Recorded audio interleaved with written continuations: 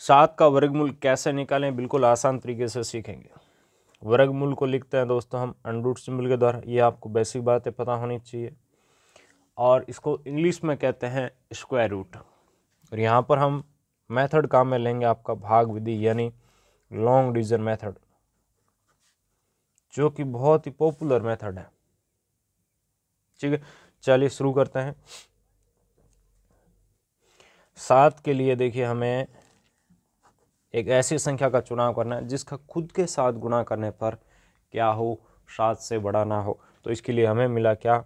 दो गुणा दो कितना होता है? चार। किसको लिया? दो को। तो यहाँ लेके देखें अब देखिए, दो से एक बड़ी संख्या लेकर देखिए। जिस संख्या को यहाँ पे आप ले रहे हैं ना, उसके लिए ध्यान से सुनिए। उससे एक बड़ी संख्या लेकर देखो, यानी तीन को। कितना आ गया? नौ। देखिए, सात से बड़ा है। हमें क्या चाहिए? ऐसी संख्या लेंगे जिसका खुद के साथ गुणा करने पर क्या ना हो, सात से बड़ा ना हो। जैसे दो गुणा दो किया, कितना आ रहा है? चार आ रहा है ये सात से बड़ा नहीं है। अब इसको कन्फर्म करने के लिए यहाँ पर दो ही हमारा सूटेबल है। इससे एक बड़ी संख्या लेकर चेक कर लेना। उससे यदि बड़ा आ रहा है तो फिर किसको लेंगे? इसको लेंगे।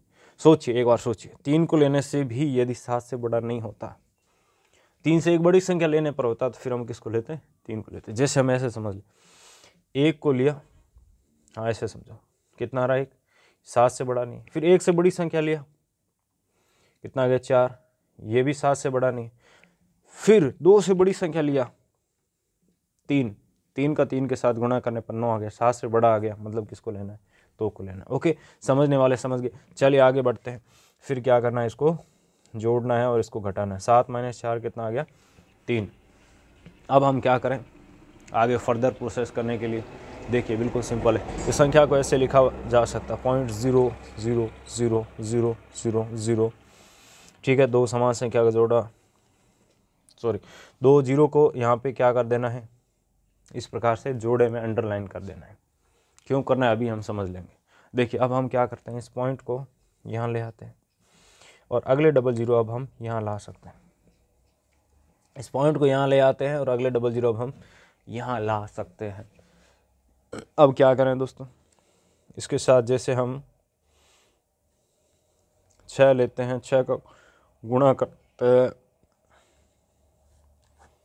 वही सेम चीज़ यहाँ पे ध्यान रखेंगे कि इसके साथ ऐसी संख्या लेना है जिसका वापस गुणा करने पर क्या हो, इससे बड़ा ना आए, तीन सौ से बढ़ाना है जिसे छः लिया तो छः का ही गुणा करेंगे। कितना आ गया? छत्तीस तीन के आ गया। छः चौक चौबीस तीन। सत्ताईस आ गया किसको लिया? छः को तो यहाँ लिख देंगे। फिर क्या करना है इसको? वही जोड़ना और घटाना है। और घटाते ही जो संख्या आएगी, इसके साथ अगले डबल ज़ीरो ले आएँगे।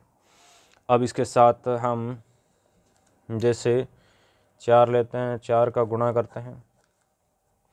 चार सौ सोलह, आठ, एक, नौ, ठीक है, किसको लिया हमने? चार को तो यहाँ लिख देंगे। फिर घटाना, जोड़ना।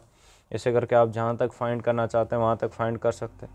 यह जो वैल्यू निकला हमारा टू पॉइंट सिक्स फोर यह अनरूट ऑफ़ सेवन का वैल्यू है, यानी सात का वर्गमूल का वैल्यू है। वीडियो कैसा लगा नीचे कमेंट कर बताएँ। अगले वीडियो में दोस्तों जल्दी फिर मिलते हैं। धन्यवाद।